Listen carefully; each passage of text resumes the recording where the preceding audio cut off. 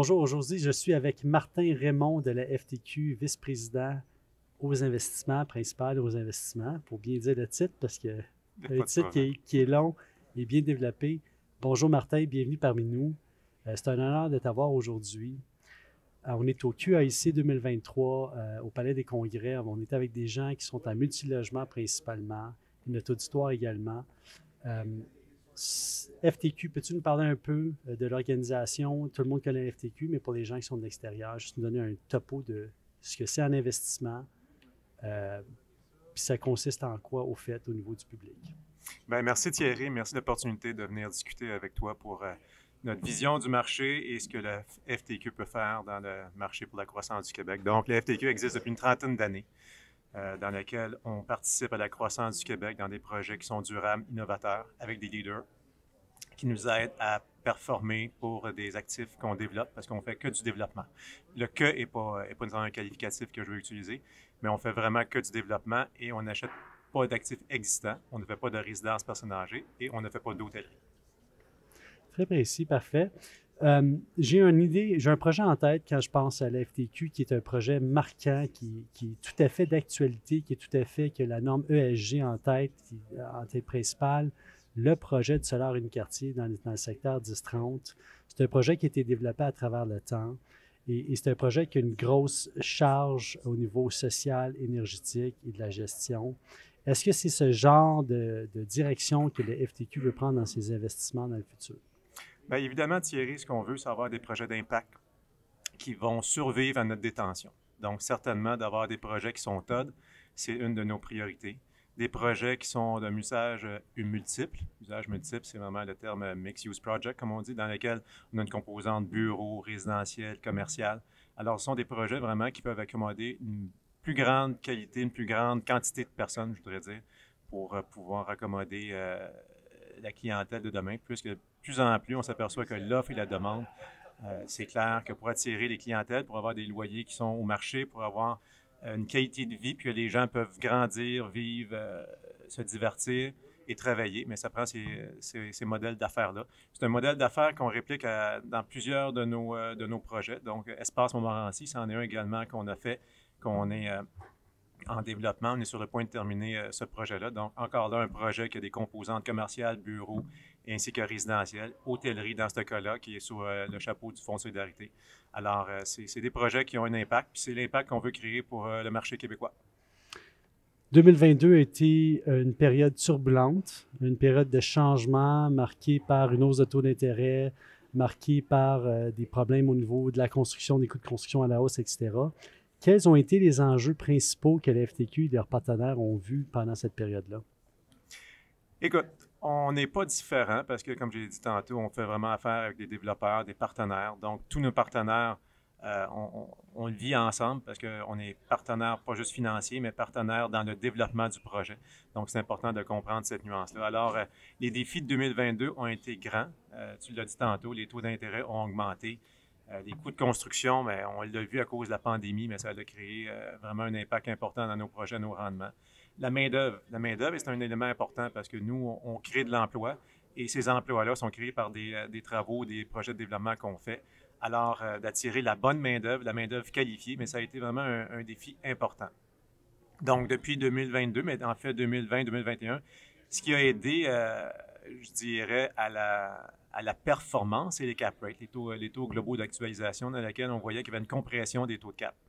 Alors, ça pouvait camoufler une certaine soit des erreurs, soit des erreurs, ben, erreurs, de prix ou erreurs euh, des omissions, des changements de, de, projet ou des, éléments qui amenaient à que le projet allait coûter plus cher.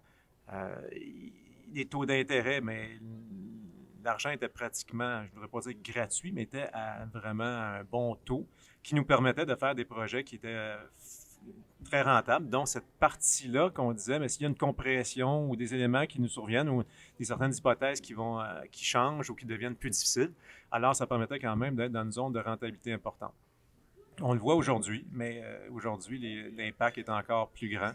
Et cette zone-là, elle se, réduit avec le temps. Mais c'est là qu'on dit, on voit les enfants des adultes le fonds immobilier, c'est un joueur de, long terme, c'est pas un joueur de court terme. Je l'ai dit tantôt, ça fait 30 ans qu'on existe, ça fait 30 ans qu'on fait des projets immobiliers, ça fait 30 ans qu'on fait affaire avec des partenaires. cinquantaine de projets présentement sur la table à dessin, cinquantaine ou tout près de, ce genre de partenaires-là qu'on fait. Donc, beaucoup, beaucoup de projets dans lesquels on, se doit d'être meilleur, d'être c'est toujours ça mon, dicton. Comment on fait pour être meilleur? Et pour être meilleur, mais c'est de s'associer un au meilleur, puis de penser autrement. Donc, c'est ce qu'on fait parce que si on fait des projets depuis 30 ans, c'est qu'on a évolué avec le marché et on voit aujourd'hui ce qu'on veut, mais surtout, c'est qu'on voit ce qu'on veut atteindre. Dans la vie, le développement, c'est pas d'improvisation. C'est vraiment, on, on s'y met pour dire quel est mon plan de match d'ici les 5 à 10 prochaines années? Et les joueurs qui sont présentement à court terme, mais euh, c'est ceux qui sont le plus pénalisés parce que présentement, on parle d'un rendement. Avant, il y avait un rendement que je pouvais dire de. Euh, un rendement qui était vraiment axé sur euh, un profit assez à court terme. Maintenant, c'est un rendement de détention qui va être vraiment plus important, qui va, qui va avoir un, je devrais dire un, pas un switch, je cherche le terme français, mais un genre de, de changement vers le rendement de détention, puisque ça va être vraiment des actifs qui vont être possiblement garder à plus long terme pour couvrir les dépenses qui sont faites euh, afin de couvrir des éléments qui sont ESG, afin des éléments de couvrir des, inclusions au loyer qu'on inclut de plus en plus. Donc, c'est un peu le, modèle d'affaires que, je crois qui va arriver pour, pour le futur. Donc, transiter moins vers, vers un modèle, oui, de rentabilité, mais d'accepter une rentabilité moins grande, d'avoir une détention, puis travailler sur la plus-value d'une localisation géographique, d'une base de données de clients locataires, qui vont nous permettre de sortir un maximum de rentabilité à, plus long terme. C'est vraiment un modèle qui est viable. On sent que les acheteurs institutionnels s'en vont dans ce sens-là également et qu'il y a un grand appétit pour les immeubles neufs. Donc, ça, je trouve ça intéressant. Je pense que ça, correspond tout à fait à ce qu'on voit euh, sur le marché présentement avec les projets que vous êtes en train d'élaborer. Comment est-ce que euh, vous analysez vos projets pour choisir les meilleurs à travers la, quantité de projets que vous devez analyser dans une, dans une année. Qu'est-ce qu'un partenaire doit faire pour plaire à l'FTQ en ce moment?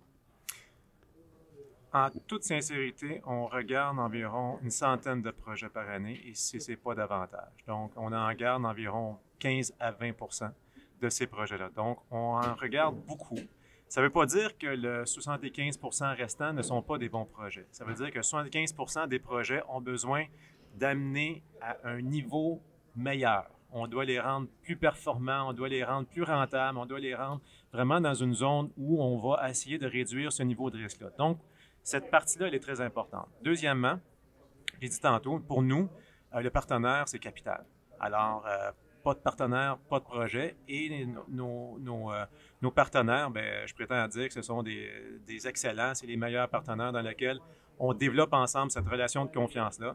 L'objectif est certainement, c'est comme une nouvelle relation. Les, premiers jours, c'est plus difficile. Après un certain temps, ça devient certainement plus facile de mieux se connaître, de savoir nos attentes, des attentes du partenaire. Alors, cette chimie-là se bâtit et se fait. Donc, de faire un seul projet, c'est intéressant. D'en faire cinq est encore mieux pour moi. Je le vois, cette vision-là, parce que je l'ai dit tantôt, on a une vision à long terme. Donc, pour avoir une vision à long terme, ça prend un game plan ça prend un plan de match dans lequel on établit euh, une structure de dire, regarde, on part aujourd'hui de X, on veut se rendre à Z.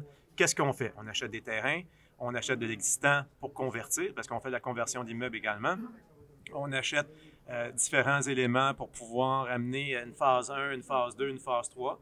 Aujourd'hui, ce qu'on voit dans le marché, c'est que tous les, éléments sont de façon, je dirais pas négative, mais sont pessimistes. Mais quand je regarde un portefeuille que je vais développer sur 10 ans, dans lequel je vais développer une phase 1, 2, 3, etc., mon portefeuille, c'est une façon euh, globale, je vais peut-être avoir un, je sais pas, un 100 points de base de différence, 200 points de base de différence, un rendement global de 10 ans, mais c'est sûr que ma phase 3 qui est aujourd'hui ou ma phase 2 qui n'est pas rentable, elle a un impact aujourd'hui immédiat. Mais dans 10 ans, comme on dit en anglais, le blendé va sûrement être, euh, va se, se, rentrer dans le rendement global et ça va être euh, encore des rendements qui sont très, très bons. Un rendement total sur le portfolio sur une grande période, c'est tout à fait euh, logique dans un univers comme on a aujourd'hui avec des coûts qui semblent déraisonnables, mais il ne faut pas oublier que le marché québécois fait juste s'ajuster par rapport au restant du Canada pour le marché de l'Amérique du Nord en ce moment. Euh, comment est-ce que vous voyez l'année 2023? avoir une boule de cristal, tout le monde aurait la recette de la caramel. Donc, 2023, je pense que c'est une année de transition. C'est une année d'opportunité, selon moi. Et je ne parle pas d'opportunité financière. Je pense que dans les dernières années, ce qu'on a vu, c'est que faire du développement, je ne veux pas dire que c'était facile, mais il y avait ton voisin, ton ami, ta belle-mère, tout le monde faisait du développement. Puis ça, je pense que ça devenait pratiquement chose trop facile. Le développement, c'est un art il faut que ce soit bien fait et il faut que ça soit fait pour le long terme. Il faut que ce soit bâti. Nos actifs vont survivre à notre détention. Donc, je pense que c'est important qu'on voit l'avenir puis qu'on dit on fait du développement qui est structuré. je parle toujours de plan de match, mais c'est un plan de match de développer de façon intelligente et de développer des actifs qui vont être durables.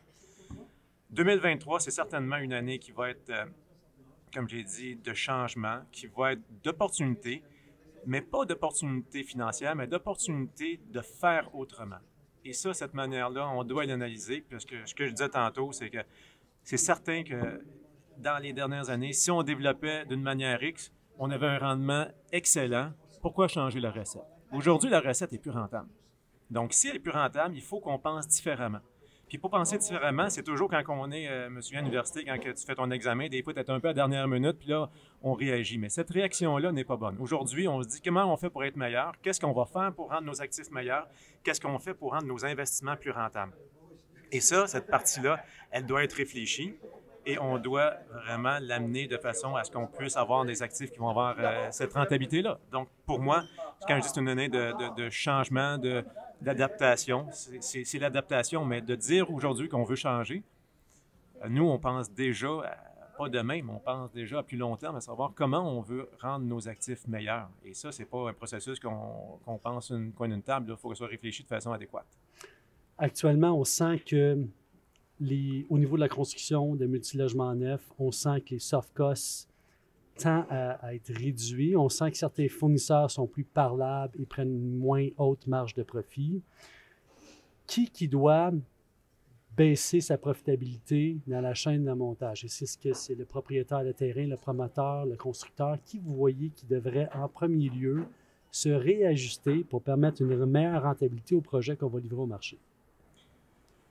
C'est une bonne question. Je pense qu'il y a de la place pour tout le monde, du profit pour tout le monde. De dire qu'un devrait réduire plus que l'autre, ça devient. Euh, je trouve qu'il faut que ce soit un portrait dans lequel on établit qu'il y en a pour tous. Il y a eu une époque où il y en avait plus peut-être pour les développeurs. Aujourd'hui, ça a un peu changé. C'est l'offre et la demande. Euh, il vient une époque où il y avait une époque où les, euh, les sous-traitants, les, était peut-être plus difficile et euh, il y avait moins de disponibilité. Donc, moins de disponibilité veut dire que les prix augmentent. Je ne veux pas dire qu'il y a eu de l'abus. Je ne pourrais pas dire si c'est le cas. Je ne voudrais pas me commettre là-dessus, mais je pense qu'il y a quand même. Euh, c'est un peu ce jeu-là de l'offre et la demande. Donc, lorsqu'il y a une, une, forte demande, mais c'est certain que ça va amener euh, des prix, une croissance des prix. Alors, j'irais sur ce stade-là en disant qu'il faut qu'il y ait de l'argent pour tout le monde. Aujourd'hui, cette rentabilité, elle est vraiment réduite. Tellement réduite que euh, ça devient difficile de faire des projets qui sont rentables. Ça prend des financements. Les financements aujourd'hui euh, est plus difficile. Donc, si on n'est pas avec la PH Select, euh, ça devient un projet qui n'est pas rentable. Les coûts de construction, mais s'ils sont encore inflationnés euh, au prix que ça a augmenté dans les deux, trois dernières années de 20 à 30% il faut que ça se stabilise parce que qui va payer la note à la fin? Moi, je suis un fonds de pension, je représente un fonds de pension. Fait que on est capable d'absorber une certaine partie, mais ultimement, ce sont les, utilisateurs payeurs qui vont avoir cette facture-là. Et je pense qu'à un moment donné, j'écoutais des, des panélistes ce matin qui me disaient l'inflation des logements va atteindre de 7 à 8, puis même 10% annuellement. Euh, tout dépend où est-ce qu'on part, puis où est-ce qu'on arrive. Mais si c'est un loyer marchand qui augmente de 7% par année, mais euh, composé environ 40 sur 5 ans. C'est un loyer qui a une augmentation importante et les locataires devront euh, certainement en payer cette note-là quelque part selon les, euh, les coûts qui vont avoir en découler de nos, de nos, de nos logements qu'on va construire. C'est un parc aussi immobilier existant qui est vieillissant, dans lequel les incitatifs pour rénover sont quand même assez limités ou en tout cas, il devrait peut-être avoir une étude, voir comment on fait pour rendre nos immeubles plus rentable avec euh, inciter les gens à rénover des, des, euh, des immeubles qui sont peut-être un peu désuets. Parlons de conversion. Votre projet à l'île des Sœurs, qui est un projet précurseurs. On, a vu ce genre de modèle-là ailleurs en Amérique du Nord, mais on l'a rarement vu à Montréal.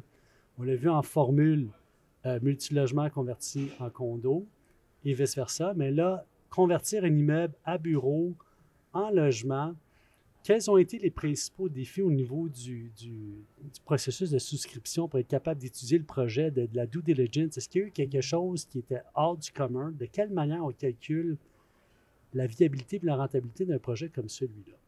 Bien, comme je t'ai dit tantôt, Thierry, ce qui est aujourd'hui, c'est de voir différemment, de faire les choses qui sont pas qui ont été faites avant. Donc, ne peux pas dire que moi, personnellement, et ça fait, j'ai pas loin de 30 ans d'expérience en immobilier, la conversion d'immeuble, un immeuble à bureau dans lequel il y a des composantes d'ascenseur, de fenestration, on s'entend qu'il y a des contraintes qui sont importantes dans lequel aujourd'hui on, vit avec les erreurs, on vit avec les changements. Donc des défis, il y en a eu plusieurs.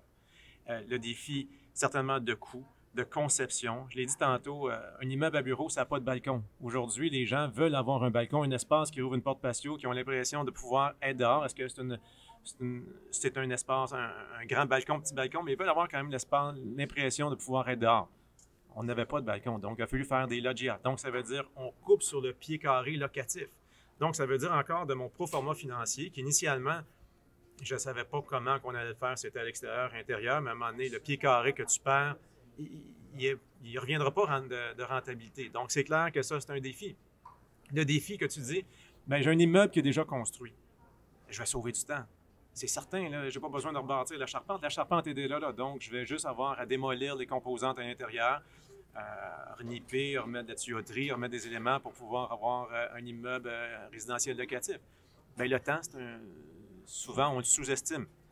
il ne faut jamais sous-estimer cette composante-là. Est-ce que le défi de la, des, des, fonds requis pour transformer un immeuble qui est existant, mon père me disait toujours, c'est plus facile de partir d'un terrain vierge que d'un immeuble que faut que tu, euh, une maison, qu'il faut que tu rénoves parce que tu vis avec les composantes qui sont là. Donc, aujourd'hui, que ce soit une maison privée ou un immeuble de 10 étages, qu'on fait à la place du, au 16 Place du Commerce avec un partenaire Claude Lachance. Donc, ça prend des gens qui sont très, très bons, ça prend des gens qui sont spécialistes, ça prend des gens qui ont cette vision-là de vouloir changer. Pour nous, pour le fond, mais ça amène, c'est certain que pour nous, c'est important de recycler les matériaux. On a les aspects ESG à cœur. Donc, pour nous, c'est une priorité. Donc, d'avoir un immeuble dans lequel on, recycle des matériaux, dans lequel on va pouvoir avoir euh, des composantes qui ont été euh, économiquement, mais rentables point de vue, euh, point de vue d'aspect durable. Mais c'est important pour nous. Donc, ça a été, mais ça a été tout un défi. Je vous dirais que le défi a été immense. Aujourd'hui, on est content. L'immeuble est, sur le point où on va le livrer sous peu.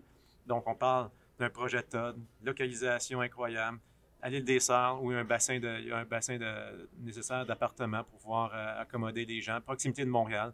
Donc, euh, localisation, comme j'ai dit tantôt, on parle toujours d'adage, localisation, localisation, localisation. Dans ce cas-là, on s'entend que c'est un excellent, euh, un excellent endroit pour pouvoir aller s'héberger. Puis pour des familles ou pour des, des étudiants ou quoi que ce soit, c'est un environnement qui est vraiment incroyable.